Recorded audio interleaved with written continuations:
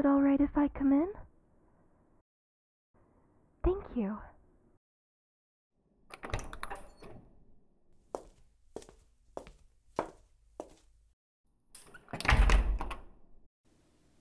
How are you doing? I hope I didn't interrupt anything. You're doing well? That's good.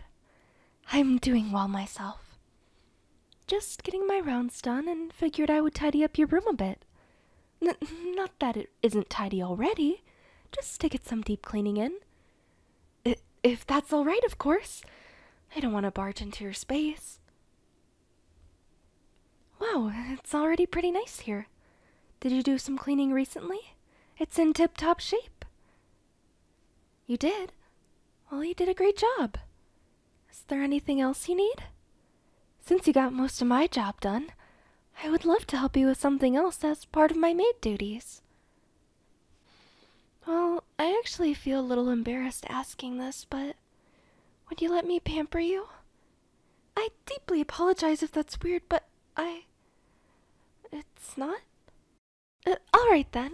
I'd love to pamper you. I just want you to feel as relaxed as possible while I take care of you.